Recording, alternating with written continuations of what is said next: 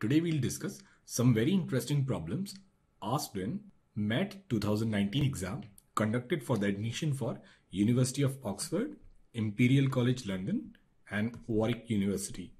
Now this question, it is related to partitioning of a set. This question is about the number of ways of partitioning a set of n elements into subsets, each with at least two and at most n elements.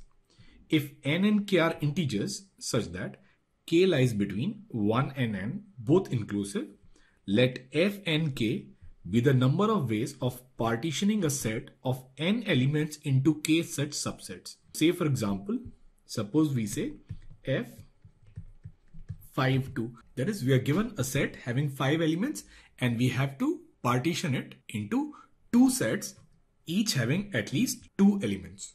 Now in how many ways can it be done? So in the question it says it can be done 10 ways. It can be 1, 5, 2, 3, 4, 2, 5, 1, 3, 4 and so on. Another way of looking into it is from these 5 elements we have to select 2 elements and it can be done in 5C2 ways which is 10. When we select 2 elements, remaining 3 elements will go to the other set. So total number of ways of partitioning 5 into 2 subsets is simply 10. Now the first question is, we need to explain why fnk equals 0 if k is greater than or equal to n by 2.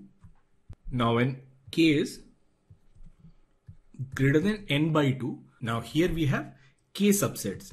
Now it is given that each subset will have at least two elements. So for these k subsets, number of elements, it will be greater than or equal to 2k.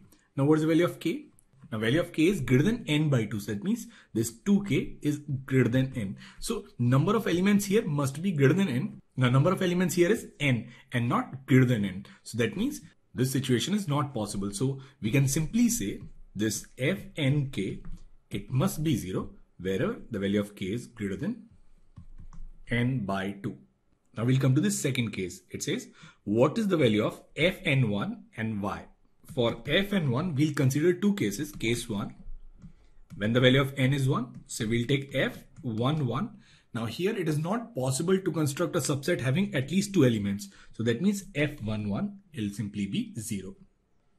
When n is greater than equal to 2, then in that case, fn1, it simply means we have two or more elements in the set and we have to create a set containing only one partition. So that means this set will be the same set itself and it can be done in only one way. So this fn1 will be 0 when n is equal to 1 and will be 1 when n is greater than or equal to 2. Now we'll come to this third case which says in forming an allowable partition of 1 to n plus 1 into subsets of at least two elements we can either pair n plus 1 with one other element and leaving n minus 1 elements to deal with or we can take an allowable partitions of 1 to n and then add n plus 1 to any one of the existing subset. It says using this observation we need to find an equation for fn plus 1k in terms of fn minus 1 k minus 1 and fnk when k lies between 2 and n. Now for this third question we are given this set having n plus 1 elements 1, 2, 3 up to n plus 1. Now in order to find fn plus 1k, one way to look at it is we can pair this n plus 1 with one element to form a subset containing exactly two elements. It can be paired with any one of the remaining n elements and it can be chosen in nc1 ways. So now we have a set containing n plus 1 and one chosen other element. Now we are left with n minus 1 elements and we have to partition them in remaining k minus 1 subsets and it can be done in f n minus 1 k minus 1 ways. Another case is when this n plus 1 is added to a subset which already has two or more elements. So in that case what we'll do is we'll take these n elements and we can partition them in k subsets and it can be done in f n k. Now we have k subsets and we have to add this n plus 1 in any one of these k subsets and it can be done in k, c one ways. So from here we'll get this recurring relation which is f n plus 1 k it is equal to n f n minus 1 k minus 1 plus k f n into k and using this recurring relation we can find higher values of f and k.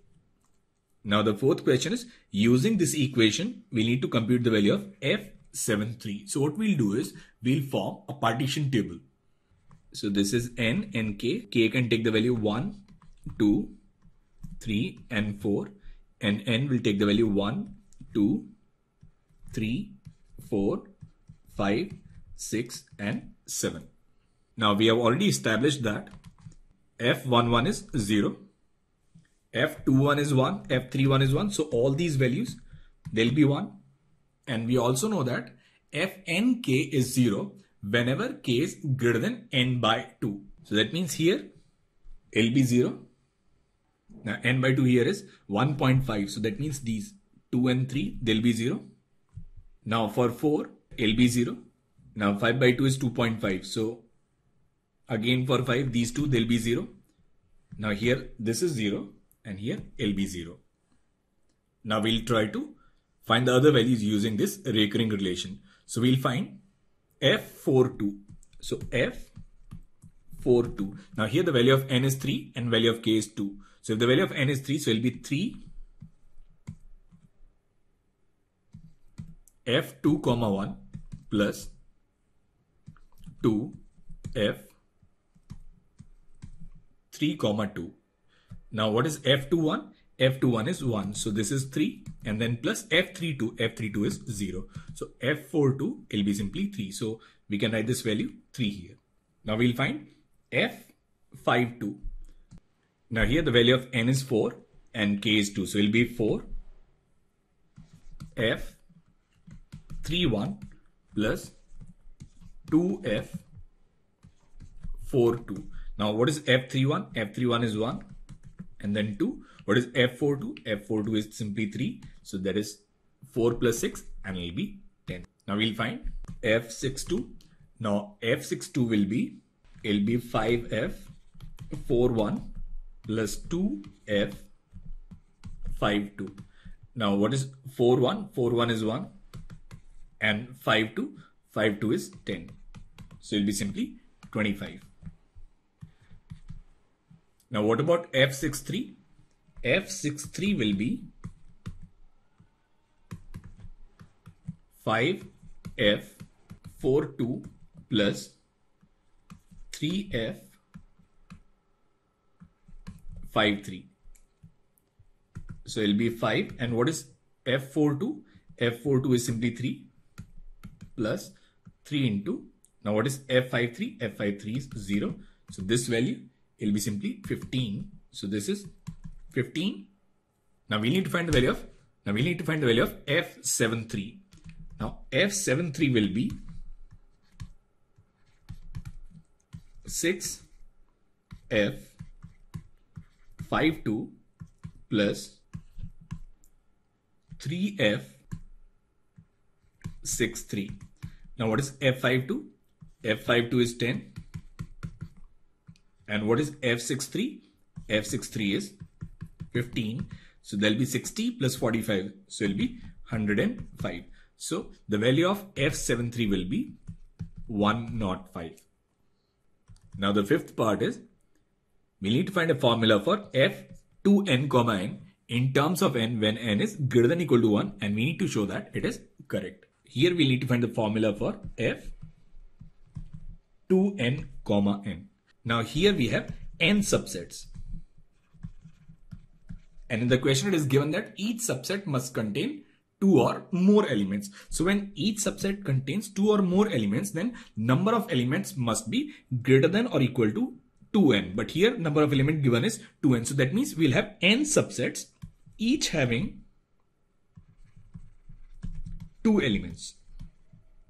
So we'll need to find in how many ways we can distribute these two n elements in a set of 2, 2, 2 and 2 n times. So this is nothing but this is unnamed distribution. So we need to distribute these two n elements in a set of 2, 2, 2, 2 n times where each set is indistinguishable. So it can be done in factorial 2n and then 2 into 2 into 2 into 2 n times. So there'll be factorial 2 to the power n and because these sets they are non-identifiable you have to divide it by factorial n. So the formula for f2n comma n will be factorial 2n upon 2 to the power n into factorial n. So this is how we solve these partition questions.